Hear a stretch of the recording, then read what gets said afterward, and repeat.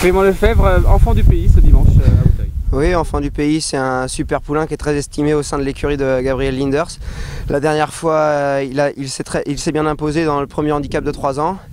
Il a été pénalisé de 4 kg sur cette belle victoire. Euh, on s'est tâté entre euh, la grande course de haie d'Anguin qui se croit à Compiègne vendredi et, cette course-là. Euh, ça avait l'air un petit peu plus simple. Il est encore immature. Je pense qu'il a le niveau d'affronter les bons de vendredi, mais on va essayer de lui donner une tâche un peu plus simple et je pense qu'il a une très belle carte à jouer dimanche. le terrain va semble-t-il être lourd. Je pense pas que ça va être un souci pour lui. même avec les 4 kg de, pénalité, pardon, il, est resté vraiment très bien. Il est même euh, monté sur cette course-là, donc je pense qu'il va très bien courir. Un cheval estimé. Oui, exactement. Depuis le début de l'année, on l'aime beaucoup. Le cheval ne cesse de progresser. Il va être encore meilleur euh, l'an prochain. Drôle d'idée Drôle d'idée, elle vient de malheureusement tomber sur la dernière haie dans, dans, le groupe 1. Elle était un peu fatiguée malheureusement, mais on essayait de, tenter notre Vatou.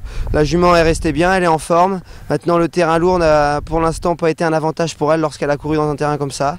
Euh, après, euh, c'est des chevaux qu'elle a déjà affrontés, qu'elle avait gagné quand elle avait gagné la Liston au mois de juin, au mois de septembre, pardon, excusez-moi.